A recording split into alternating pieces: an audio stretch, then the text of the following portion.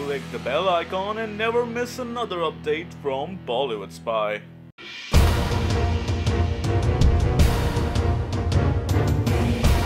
बाहुबली 2 के ज़बरदस्त सफलता के बाद हर कोई इस फ़िल्म की तारीफ़ करते नज़र आ रहा है और अब सलमान खान ने भी की एस एस राजमौली के इस मैग्नम ओपस की तारीफ़ जी हाँ एक रीसेंट इंटरव्यू में सलमान को जब बाहुबली की सफलता के बारे में पूछा गया तो उनका कहना था हैट्स ऑफ़ जिन्होंने इस फ़िल्म को देखा और आज उसे इतना बड़ा बनाया आपको बता दें, इन दिनों सलमान अपनी अगली फ़िल्म ट्यूबलाइट के साथ बॉक्स ऑफ़िस पर दस्तक देने के लिए तैयार हैं।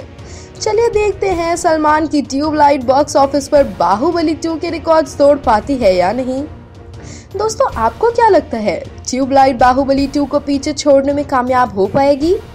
हमें अपने सुझाव बताइए और कमेंट करिए। और भी फिल्मी मसालेदार अपडेट्स के लिए सिर्फ़ और सिर्फ़ बॉलीवुड स्पाई के साथ बने रहिए।